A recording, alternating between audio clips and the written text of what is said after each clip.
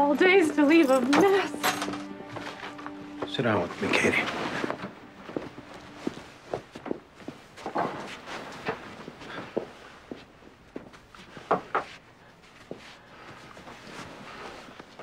You're gonna ask, where's Andy Jr.'s handprint? And both parts are on the kitchen shelf where I'm gonna glue it back together. Let me tell you about your case. About my case. I thought in Andy's good time. I thought in the car. Katie.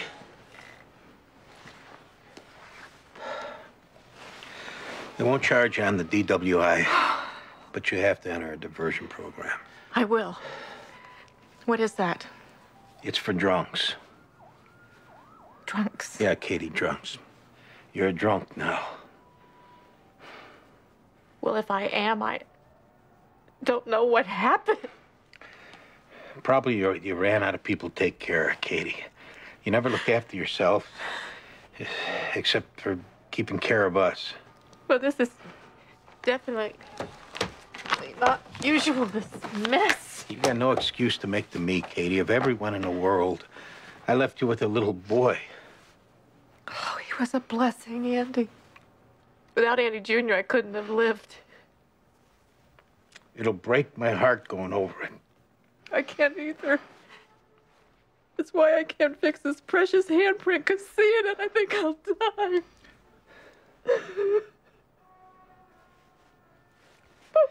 We're alive. We're both alive, Katie.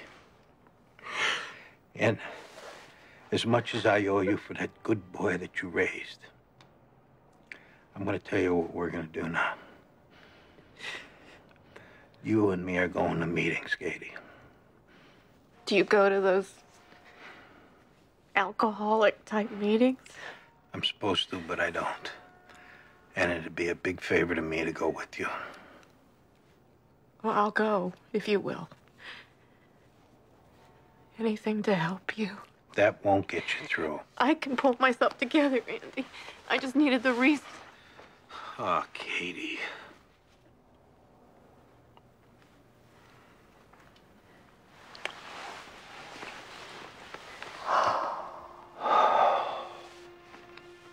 Okay, Katie. Okay, Katie. And maybe your reasons will change. Thank God for you, Andy.